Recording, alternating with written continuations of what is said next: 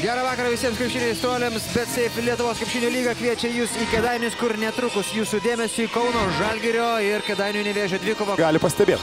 Taigi dabar kėdainiečių ataka ir iš Ir toli. antroji iš eilės sėkminga aikštė šeimininkų ataka. Lietuvos krepšinio lygos rungtynės ir e, tai yra mažiausiai mačių sužaidusi Lietuvos krepšinio lygoje komanda, kuri... O šeimininko ekipoje Džeimsas Woodardas. Dar vienas O, legionierius čia gerą perdavimą dabar gavo Gytis Masiulis. Masiulis yra labai geras e, pavyzdys tos patarlės, kai obolys toli nuo obels nerėda ir Žaikeitimų naudoja Ramūnas Svirka.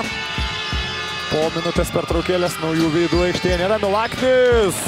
Gynyba tokia kibi, kad pozicinėse atakose net sunku parodyti gestą. Iš žaidėjų. O jo komandos draugams pamatyti. jo ambicijas taip pat tai yra Gintautas Tamulis, antrasis yra Rytis Juknevičius, abu žaidė Marijampolės Matingos komandoje, čia labai lengvai, jie sunku net ir e, pakomentuoti. Pirmasis taip, Iki galo niekas neteina Pauliui į pagalbą. bet tai yra universalus polėjas. Ir manau, kad Šarūnas Jasikevičius tą jo universalumą šį sezoną išnaudos. Malkolmas laisvas. Įsičius. Apgavo dabar. Oi, oi, oi. Išmaudė pirmiausia Woodardą. Rezultatas yra toks ir prasideda antroji rungtynių pusė tarp komandų, kurios iš principo turėtų būti skirtingų kalibrų, bet Viskas gerai, dvi atakos, šeši taškai. Misičius e, kol kas Lietuvos krepšinio lygos sezone padaro maždaug tiek klaidų, kiek pelno taškų. Na, krepšininkams, kaip atsikratyti kamoliu. Pirmam gavusiam žaidėjui, o čia postas Saldainis Kavaliauskui. Išsisuko iš lanko. Volkus. Irgi nesiryžo forsuot.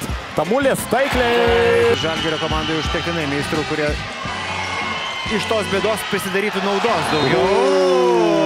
Vaidotas Volkus pamoko. Dabar Gyti Masiulį. taškų ir Justas Tamulis. Jo sąskaitoje 9 taškai. Tačiau nereikia pamiršti, Robertai, kad septynios minutės puikios buvo Žalgiriui gynyboje. Ir Sakė, kad ko gero taip, dabar apmaudė iš tikrųjų klaida, sutikus tam žilvinai. Artūras Milaknis. Kas? Na, dar minutę kitą nevėžys tikrai bandys gelbėtis. Jankūnas pro šalį. Edgaras Ulanovas pakės rungtyniauti svečiuose, bet prieš tai testas su Larnako Saeka, apie ką jau kalbėjome. Micičius. Kavaliauskas iš eilutės. Graži tokia Vasilija Myčičiaus statistika. O čia prarastas kamuolys. Valinskas Veljačičiui jį atiduoda. Pa... Taigi, galutinis rungtynių rezultatas 77-66 ir rungtynės šiandieną Kedainiuose buvo kovingesnės nei buvo galima prognozuoti. Mes irgi manėm, kad viskas Kauno Žalgiriui bus paprasčiau, ne?